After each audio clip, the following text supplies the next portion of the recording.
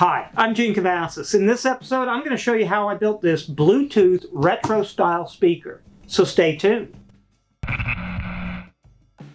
Okay, so the uh, the Bluetooth package came in. I'm not going to do an unboxing. I hate unboxings, but I'm just excited to get this open and see what we have because I didn't want to really start cutting out any of the cabinet or building any of the cabinet until I have all the parts. And this must be more wiring. Yep, and the board. So this is cool. And what I'm really excited here for is it really is a pretty small footprint. This is the biggest piece of this. And this is going to support the, the board. So we'll start figuring this out and see how that goes. I always like to start out by rough sketching out my concept ideas. I think I'll settle on this design. So from there, I'm going to move on and start kind of finalizing and flushing out that design that I want to follow. Once I've got that, I'm going to start out using a 2 by 2 foot by half inch piece of MDF I picked up from the hardware store. I'm marking it off at 6 inches and I'm going to cut two pieces off that are 6 inches high by roughly about 14 inches. Here I'll start laying out my design of how I want the basic shape to be.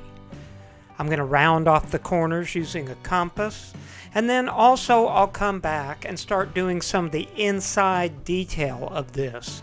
This includes a recessed piece with a rounded center.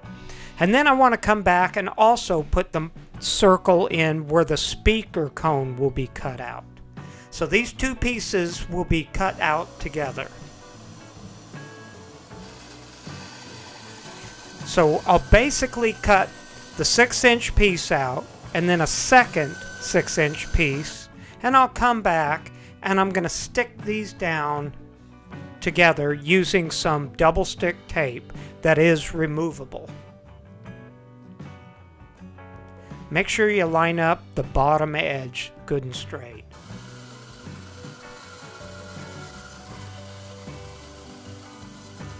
It really makes it nice being able to cut both pieces at the same time for accuracy. Now I'm going to take and mark out the indention into the front. This is going to be roughly the same thickness that I'll later on route into the face of that. Now, using the top and sides, I'm going to mark where I'll cut each of the pieces and label those to the, the front piece, the bottom piece, the top piece, and the, I guess, the forward or very front piece. That'll help later on, trust me.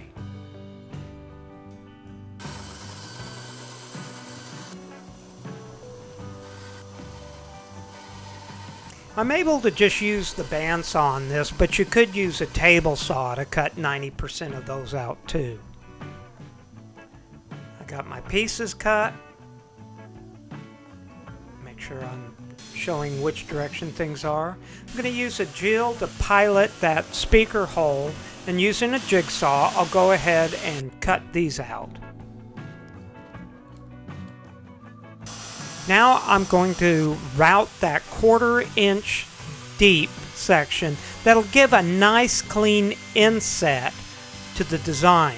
I'm going to use a template to make my straight edges, but I'm basically freehanding the round curve. I'll straighten up the speaker holes using a oscillating sander. I'll put a link to this little tool. It's been a great tool for me. Using the actual front, I'm going to make marks as to where I'm going to groove that out to match the indentions on the front. Once again, I'm going to create kind of a template or a jig to run the router along. Also, I just want to mention always wear eye protection and ear protection.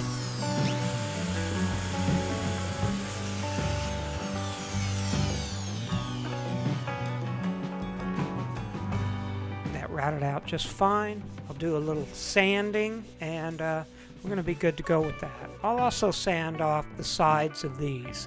Now, if you noticed, I up to this point, I've left the two pieces stuck together. I wanted to do the sanding and the hole cut at the same time. I'm going to drill an inch and a quarter inch hole in the front, and this is going to be for a sound tube that'll go in to also help push out the sound. Now, I have separated those two pieces, pulled the double stick off, and I'm basically going to make the marks where I'm going to want the control knobs to go. My first mark seemed a little high, so I'm going to come back a little lower. Now, getting an indication of what knobs and controls I'll need, I've got the volume knob, I've got the on and off switch, and then there is also three LED lights that will go on the front as well. So I'll use the tape measure and basically equally mark those off. Now the on-off switch and the volume will have to be separated a little bit further. I also noticed that in order to screw those down, I'm going to have to route out the backs about a quarter inch down. This will allow me enough room to get a hold of the, the set nuts on the back to tighten these up. Using the drill press, I'm going to go ahead and drill about a 3 8 hole for all of the pieces. This includes the LED lights, the volume knob, the on-off switch, and even on the back side, it'll include the power switch and the auxiliary plug. Now, I'm marking the backs of these where the speakers will be screwed down, and once I mark those, I'll pre-drill those. And you want to be careful that you don't drill too far. You don't want to drill all the way through. Oh. Now we're going to start putting some of the pieces. I've drilled everything out. I think I want to start with this part. This is probably the most critical part. So I'm going to use some of the Starbond medium glue. Keep using it and so far I've really, really liked what, what it can do. So this glue is like a crazy glue. It sticks extremely fast and it makes it great on projects like this because you don't have the wait time of waiting overnight for like a wood glue to set.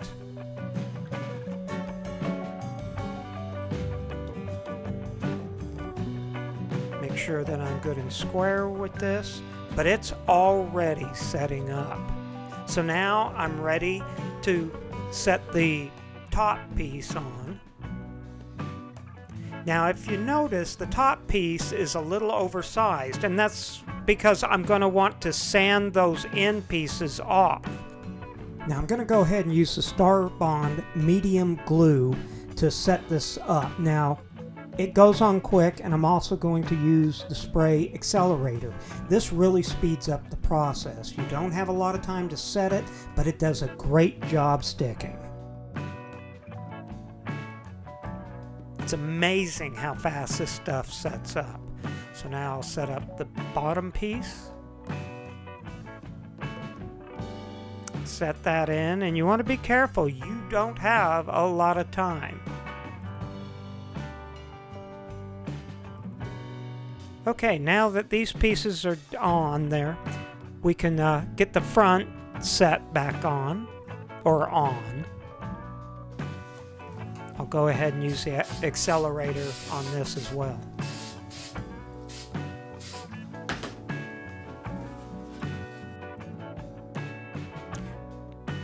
You want to make sure that bottom is as close as possible. Same with the front. Now I put some weights on this, but to be honest, within minutes, this thing is set up and ready to go.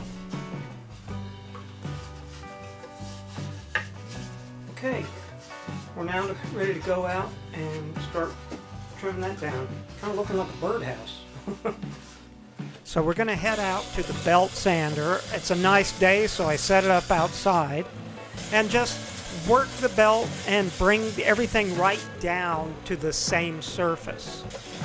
MDF sands really easy, but the great thing too is it's very, very smooth. I'm gonna put a half round bit on this to run around that edge. I think that's gonna help to give it the look we want. Now, if you don't have a router table, you can also use this same bit and just a, a handheld router.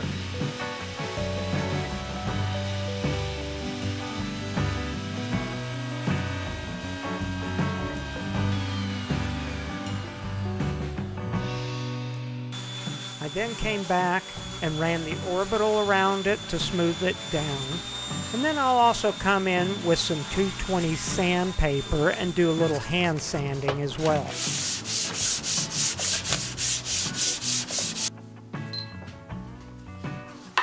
Okay, pretty well got this shaped out the way we want. So I want to start getting the inside ready to handle how that fits.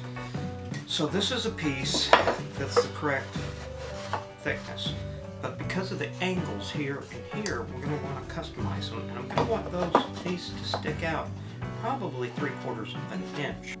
So setting the bandsaw on an angle, I can cut these out so that they fit flush inside of the Bluetooth speaker.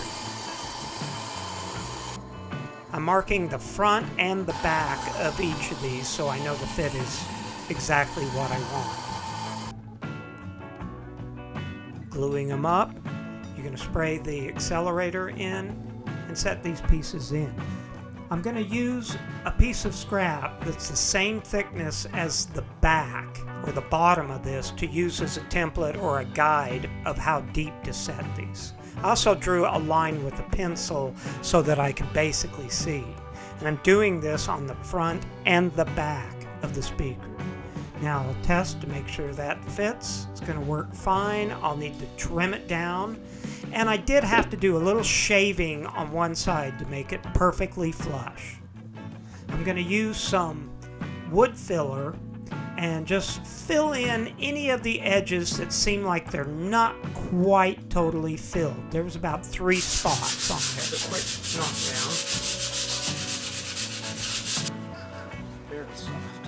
I'll take this outside and use a little white primer and spray this down. One thing I want to say is all the paint should be the same brand and the same type. Okay, now I'm going to take some 220 now I've got this primed and sanded down and it helps me to see any spots that still may need a little bit of filler. I found a couple of spots so I'm going to go ahead and fill those now.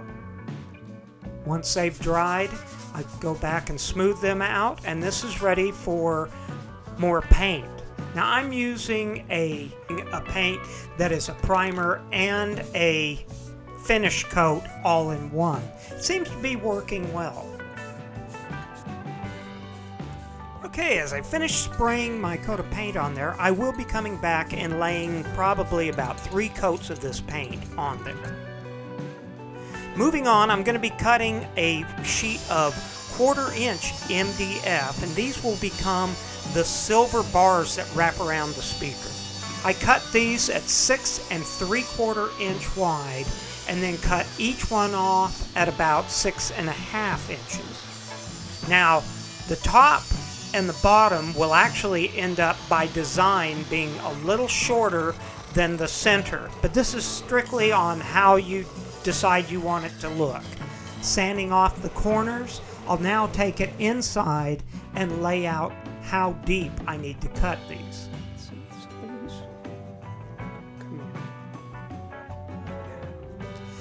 So I'm going to use the bandsaw again to cut the insides out. But even after I cut the basic thickness, I know I'm going to have to come back and trim the last little piece that's going to fit on the the Bluetooth speaker where it raises up right here. So on all three of these, I'm going to put a basic mark and come back and trim another quarter inch off of those. I'll go back out to the sander and round off the end pieces and just smooth them out.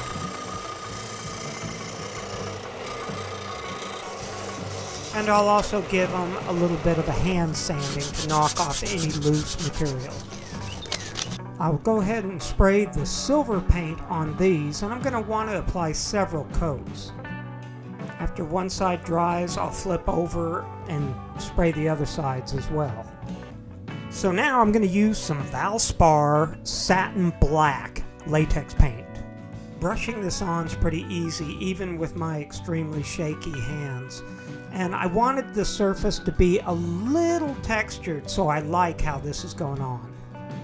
Okay, so now the basic body's done and I'm holding off on putting the, the grill on until I get the speakers and everything else pretty much in the cabinet. So right now I want to concentrate on getting the electronics put into this. It's a good thing I pre-drilled for the speakers because setting the screws in there is not easy but you can take your time and get through it.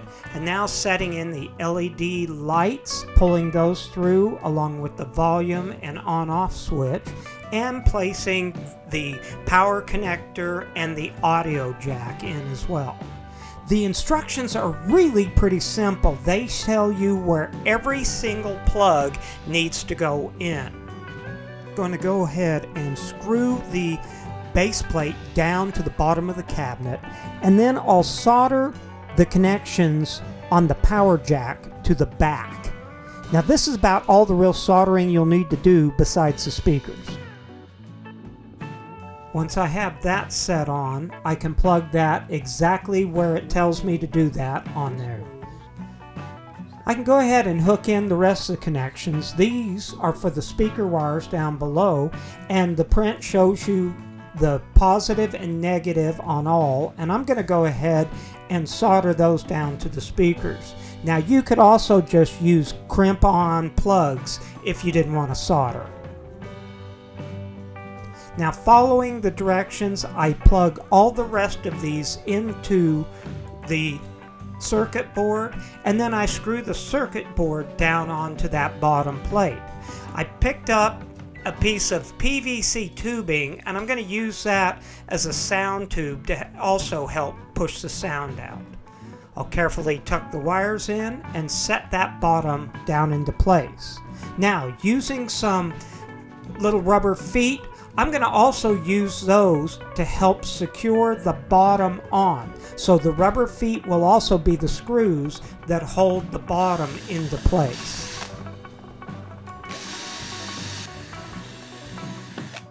This is going to work out just fine. Okay, it looks like now we're ready to start installing those chrome grills. I call them chrome grills, but they're really just silver painted. And I'm going to take a grease pencil and mark off where I want each of those to fit, starting with the middle one. Once I have those marked, I'm going to take the longest piece and set that in. Now you could glue this, but I decided to just drill these carefully with a very small hole and put a brad nail down into each.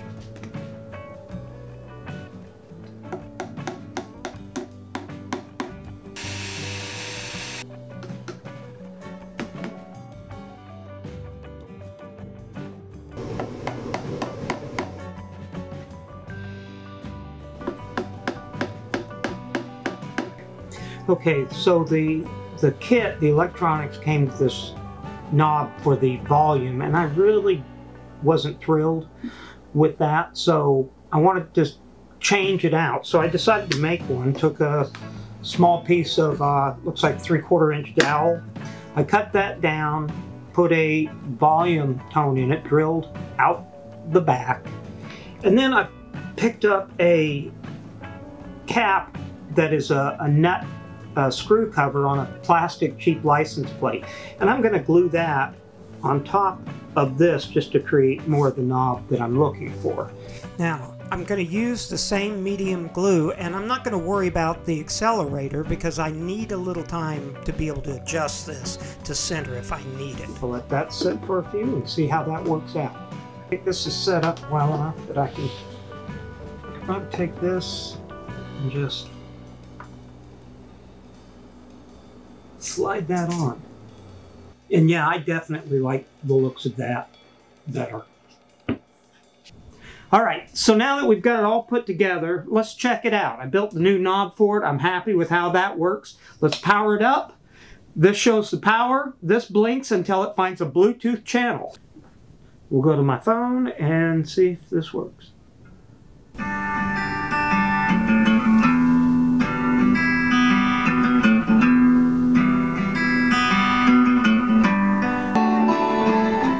I'm pretty happy with the way that sounds. If you like this project and you want to see some other projects, consider clicking on some of these other videos and I'll see you soon.